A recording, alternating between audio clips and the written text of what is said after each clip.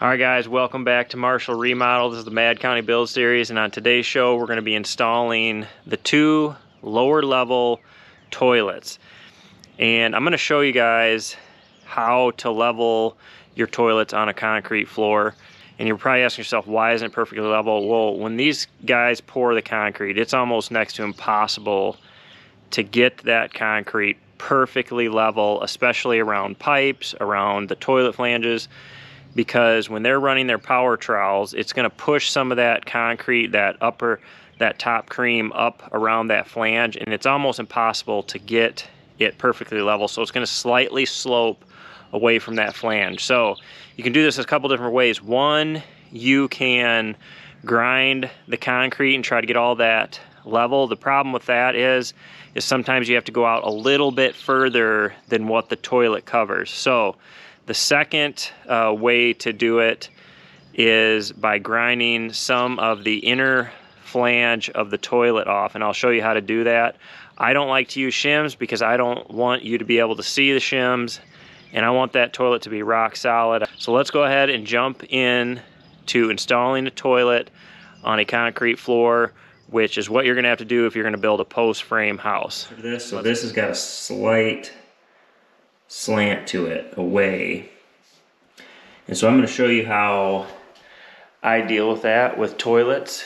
Um, it might be a little unconventional, but I So here's the base of the toilet sitting upside down. This is the part that goes over your plumbing. And then this right here and these two are level with this ring here. And that's what sits on the floor. But being that uh, right up around that flange is a little bit higher of concrete, this part and these two parts hit the concrete first. So what I'm going to do is I'm going to take a diamond grinder, just on my grinder, just a diamond wheel, and I'm going to grind these down. Just taking my time, got to use a diamond grinder on these. This porcelain um, won't grind with like a grinding wheel. So I'm to grind this one, this one, and this one down. And what that does is it allows this whole part to sit on the floor.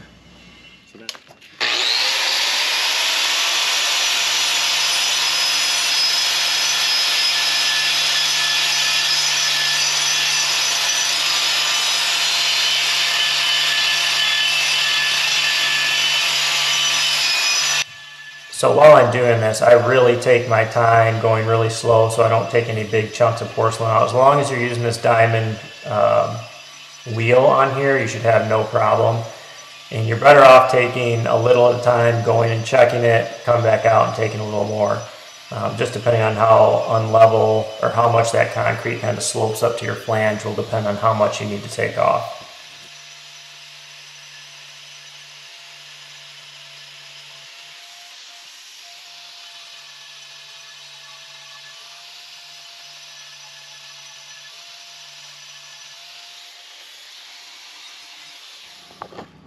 I got this ground down where I think it needs to be. That one and that one. So then this edge will touch everywhere, making it real stable.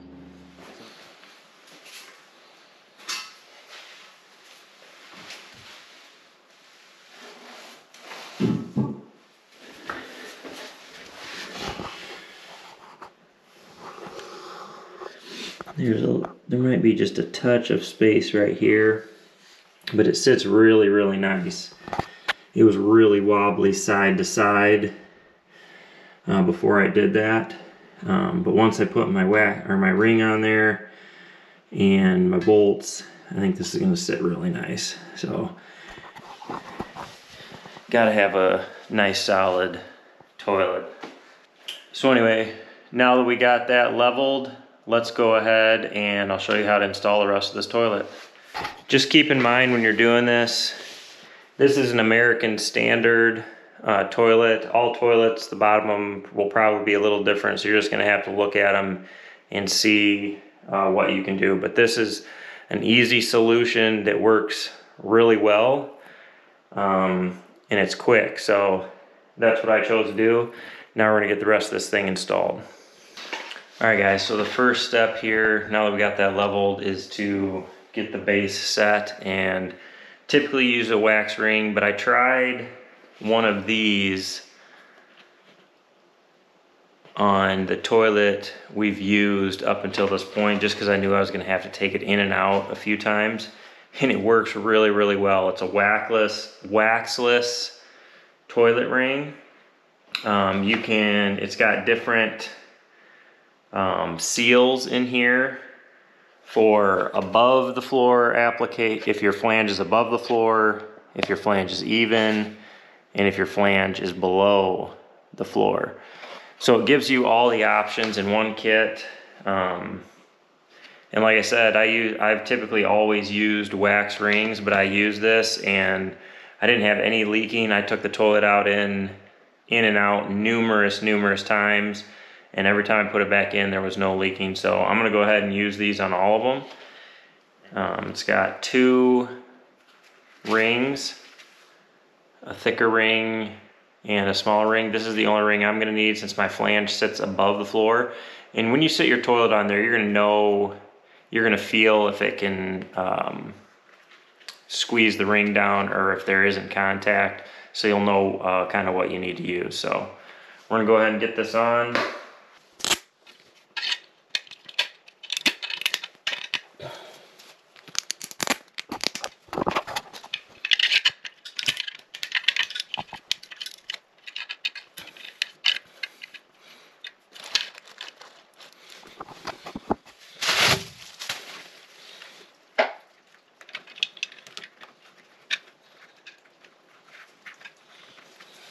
See how that fits on there. It's got this that fits over each of the bolts to kind of hold it in place. Just want to make sure these are across from each other.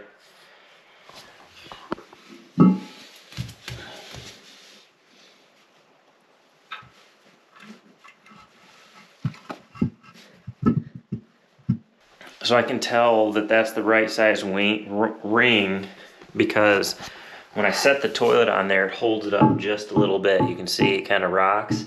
When I tighten these bolts down, that'll suck that down. And then we'll get a nice tight seal there.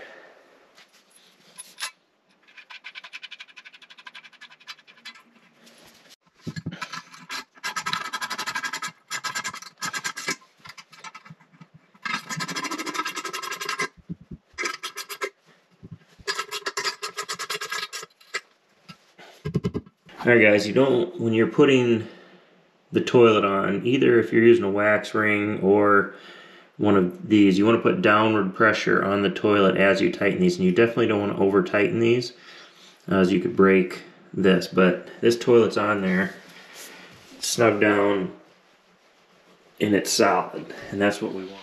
Alright, so the next part is to get the bowl fastened on there.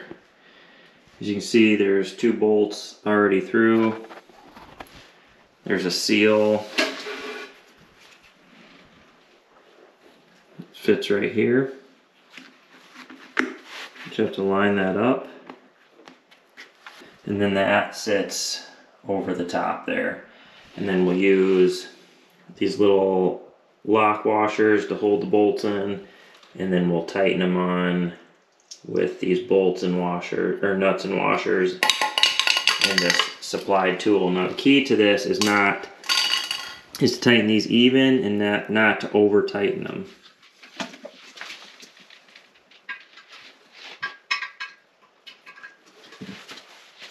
we're gonna just take this, put in the tool,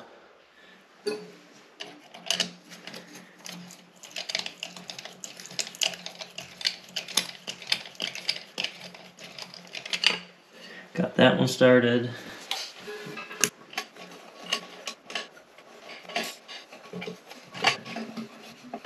When you're tightening these bolts, you want to tighten them a little on each side. So tighten this one a little, then go to the other side, and then it'll start pulling this down until it touches And that, I gotta pull this left side down a little bit more and then that should, that should be it. And that's the top right there. And you can put a screwdriver on it if you need to. Um, you usually never have to. So we should be good to hook our water line up, which I already have attached. So I just got to hook that hose up to the toilet. We can fill it and check for leaks.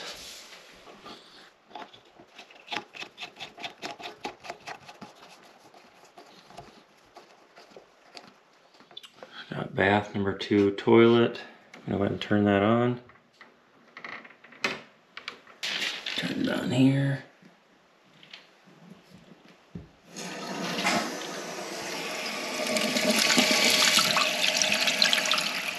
So for those of you who don't know how toilet works, this is a float. And once the water comes up, it'll raise that float and shut the water off. And then when you flush it, it lifts that little flange up, allows all the water to dump down through the toilet, which drops the float and then refills the tank.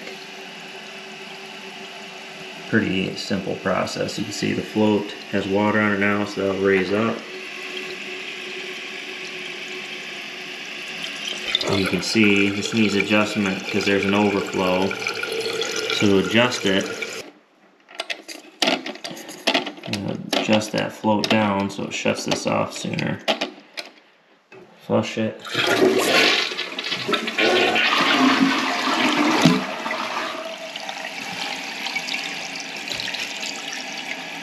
By adjusting it, this screw counterclockwise, it lowers the float so it'll shut the switch off sooner.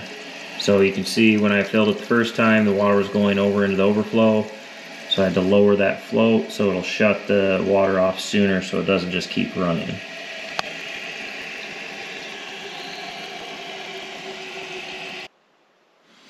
Alright, the water's down, I don't know, quarter, three eighths of an inch from the overflow, so that'll work for me. So now I put the top on, put my lid on, and uh, should be good to go. We it a couple times. There's no water anywhere.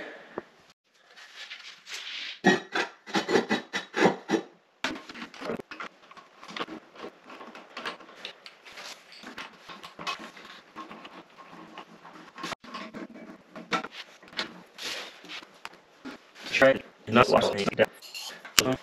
So guys, installing, if you've never done it before, installing the toilets, uh, not too bad. Can be a little tricky on concrete floor, but grinding those little flanges off on the bottom, for me, it's worked great. Um, I've had no problems doing that. You just wanna make sure you use a diamond, uh, diamond blade on your grinder and just take your time and it'll grind that porcelain right off, right off. And then that toilet, it'll allow that outside flange of that toilet to sit on the floor and you get a nice solid sitting toilet. So we appreciate you guys watching. We'll have a lot more uh, content coming soon as we're finally getting floors and stuff like that put in.